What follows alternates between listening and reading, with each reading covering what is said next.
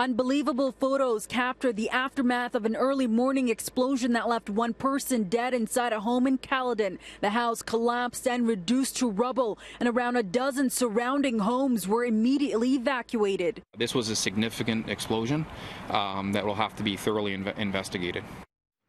This was a significant explosion um, that will have to be thoroughly inve- investigated.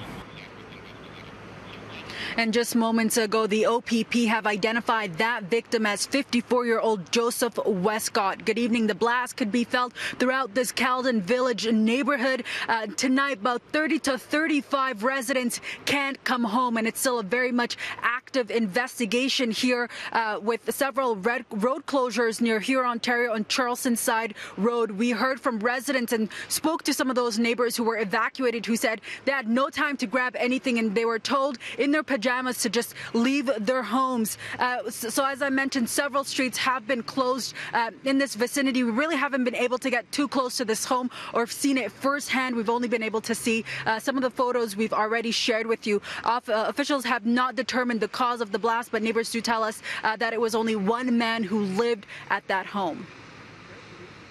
I just heard this blast and uh, it woke us up. About 6:15 this morning, I heard a humongous bang. Did you get any damage uh, to your home? Yeah, we our soffits of our roof is all busted up. Um, we have a broken window, and that's the extent of it. And the door is a little bit damaged, but. The home that exploded was on Maple Grove Road. Not much is known about the cause of the blast, but it rocked residents several streets down. Homes next door suffered damages, and there were also impacts on adjacent streets. It was, it was just shaking. I just heard things in the house banging, and it was just again, it was like it's like an earthquake. Everything like fell off my bed. Like some of the like pictures, my chalkboard on my wall, everything just fell down.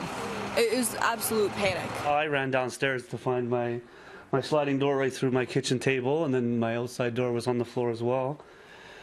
Uh, my back door was wide open. My garage door was broken as well.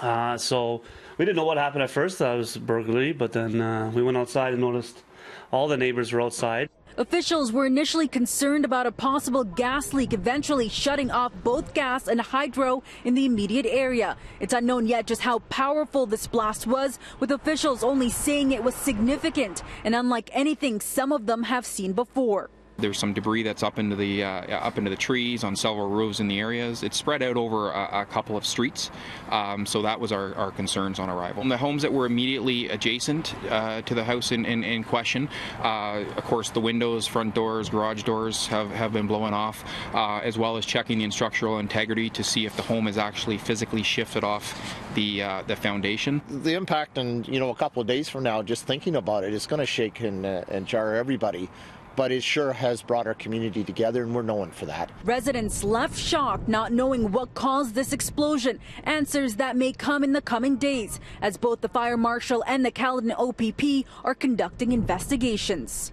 It's crazy. I mean, I would never imagine this happening in our neighborhood. And officials believe no one else was in that home at the time of the blast, and they tell us no other injuries have been reported. About an hour ago, we also saw a drone uh, flying over the affected areas. Officials say that's just for them to get a better idea of just uh, how far this blast traveled. Uh, the Caledon OPP also telling us they expect this investigation to last uh, in the next coming days, and so the street closures in effect most likely in the next coming days also. Head on City News will tell you more about the affected individuals who were forced to evacuate evacuate this evening.